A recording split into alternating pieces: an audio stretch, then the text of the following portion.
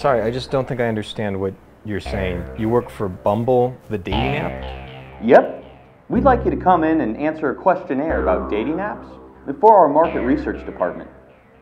We will compensate you for your time, of course.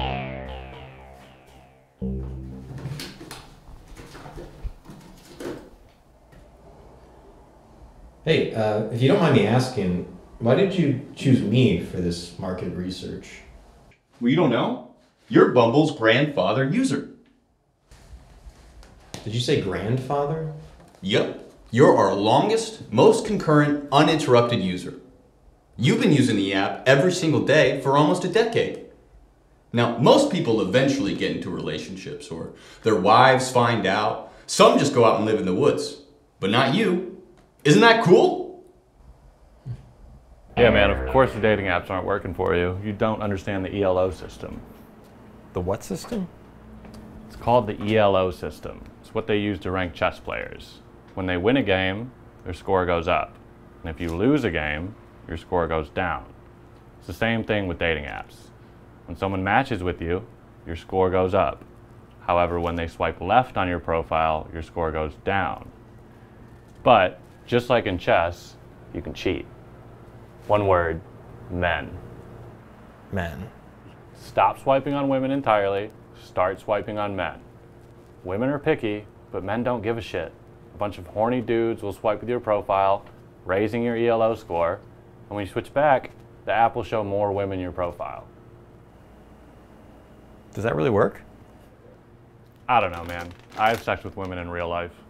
Now, in your own words, why do you use dating apps instead of finding a partner in a place like a bar or a social event?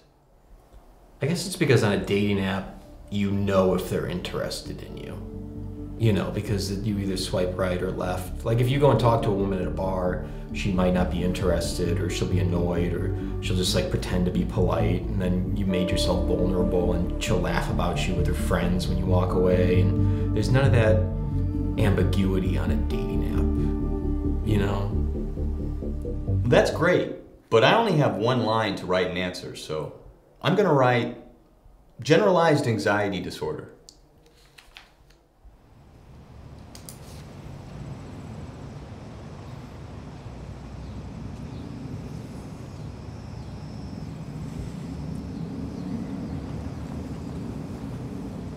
Hello. Uh, hi. Do you like books? What? What's that book you're reading? It's just a book my friend wrote. She's a local author. Oh, nice. Hell yeah. Hell yeah. What's it called? Uh, it's called Love Through All Life. Hell yeah. Hell yeah. Nice. What's it about? Is this one of those internet prank videos? Yep. Yeah, it is. You got you got me. All right. You have a good day now.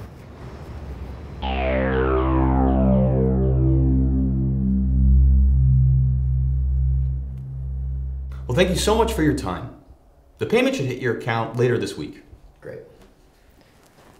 Actually, before I go, is there anything you would recommend I do if I didn't want to be Bumble's grandfather user?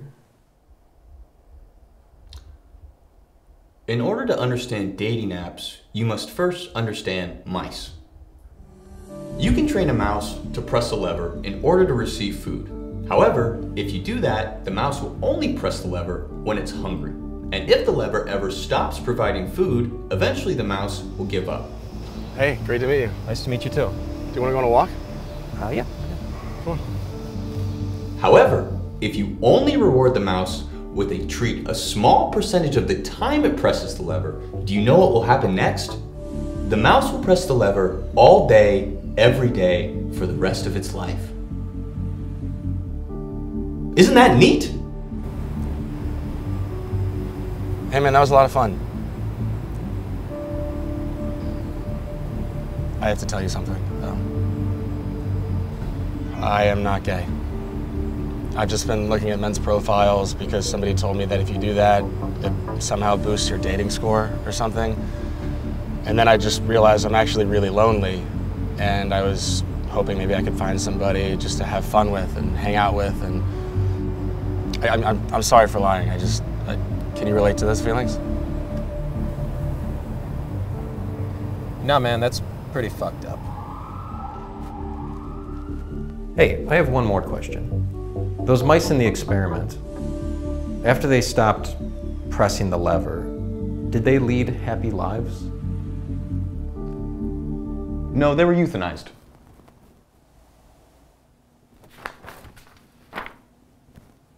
Thanks again for coming in.